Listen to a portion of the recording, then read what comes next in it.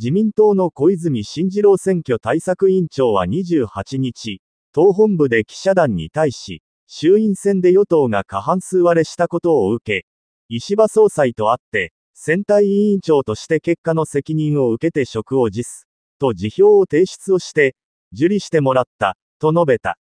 画像、自民党選対委員長辞任を表明した小泉進次郎氏は険しい表情。小泉氏は、辞任について、選挙の結果責任は選対委員長が全て引き受ける。当然のことだ、と説明した。さらに、石破首相や森山幹事長の責任について記者団から問われた小泉氏は、選挙の結果は選対委員長の責任だ。すべて私が責任を取ることだ、と強調した。